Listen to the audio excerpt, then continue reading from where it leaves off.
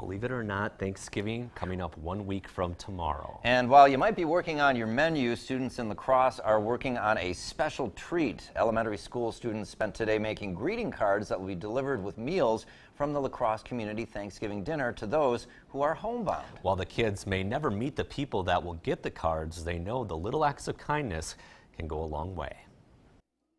If you're not having a good day and someone like help, helps you out, it just makes your day brighter.